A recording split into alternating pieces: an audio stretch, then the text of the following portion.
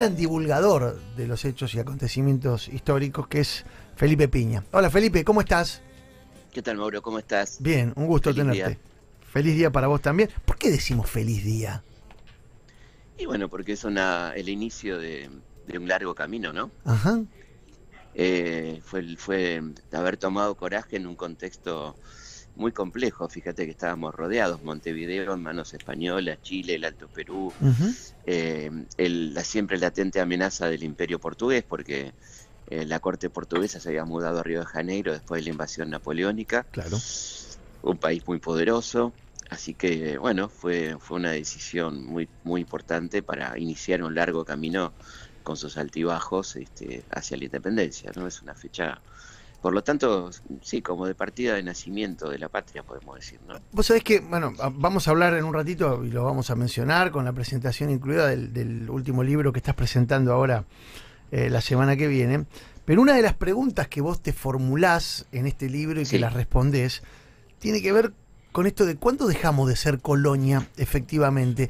Pues, ¿Se puede decir que el Sí. 25 de mayo fue un puntapié para dejar de ser colonia?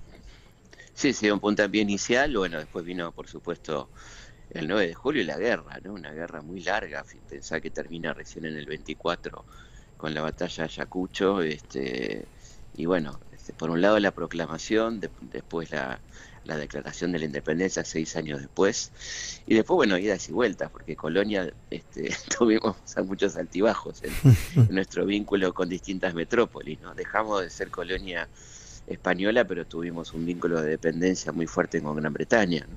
este, incluso la primera deuda externa ya por el año 24 con Rivadavia, eh, esa dependencia económica que hacía que produzcamos materia prima este, e importemos manufacturas, que también nos tornaba bastante dependientes.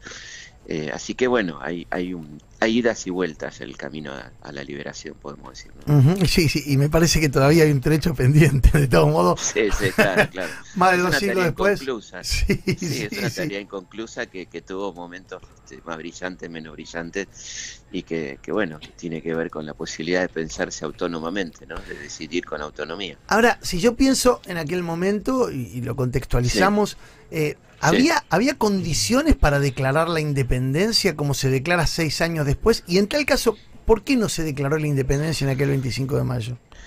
Bueno, justamente es muy buena la pregunta porque no había condiciones. Y por otra parte, nuestro principal aliado, de alguna manera, a nivel internacional, que podía ser Gran Bretaña, que, está, que estaba muy interesada en, en- en la en libertad de comercio de estas regiones, eh, nos planteaba muy claramente, hay, hay reuniones previas a, la a, a lo que pasó el 25 de mayo con Lord Stranford, donde el tipo dice, hagan lo que quieran, pero no proclamen la independencia porque nosotros somos aliados de España en la lucha contra Napoleón.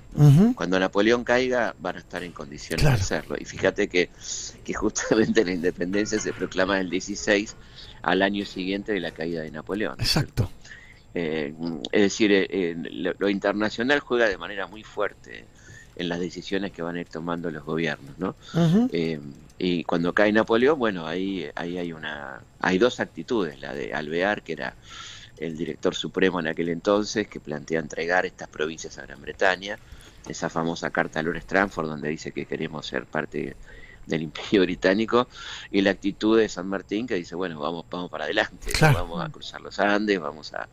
San Martín es una persona muy importante en el, en el Congreso de Tucumán, él no estuvo presente, pero tiene a diputados muy importantes, como por ejemplo La Prida, como Godoy Cruz, que plantean este, muy fuertemente la declaración de independencia porque San Martín quería cruzar los Andes eh, siendo general de un país libre, no de un país independiente. Por eso la, la presión y esas cartas tan lindas que, que le manda Godoy Cruz, ¿hasta cuándo esperamos proclamar la Claro. independencia? ¿no? Eh, Sí, así sí. que es un largo proceso, es seis años larguísimos, ¿no? larguísimos donde tenemos la asamblea del año 13, algunos avances importantes, ¿no? la, la moneda, el escudo, el himno, pero eh, faltaba el paso decisivo que era la, la proclamación de la independencia. ¿no? Qué interesante. Vaya si fue una década ganada, aquella segunda década del siglo Sí. XIX, ¿no? Para, para, aquel, Sí, para sí. aquella patria naciente, ¿no? Con todos los acontecimientos que vos mencionaste.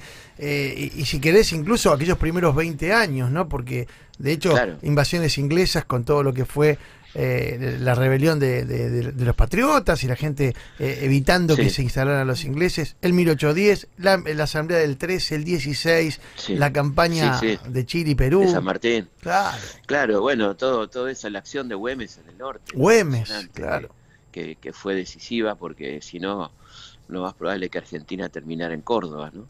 si no hubiera sido por, por el accionar de Güemes y, y todas sus infernales, como se decía, donde tuvieron mucha participación las mujeres, inclusive su hermana Macacha, ¿no? Fue decisiva en, este sostenimiento de la patria. San Martín le confía a Güemes la defensa del norte y Güemes hace una tarea increíble eh, frenando los ejércitos para que él pudiera armar, armar el cruce. ¿no? Hay una combinación muy interesante ahí, estratégica, entre estos tres grandes que son Belgrano, San Martín y Güemes, que permiten este, bueno, que el país sea lo que es hoy. ¿no? Pensaba en la búsqueda de alguna, de alguna línea que nos conecte con, aquel pasado a este presente y, tal vez la más contundente pueda llegar a ser el escenario, ¿no? La Plaza de Mayo. Hoy nuevamente la Plaza de Mayo, epicentro de una concentración masiva, popular, en busca de, bueno, evidentemente una, una respuesta política de sus dirigentes, de sus referentes. Por ahí en eso uno puede encontrar alguna similitud.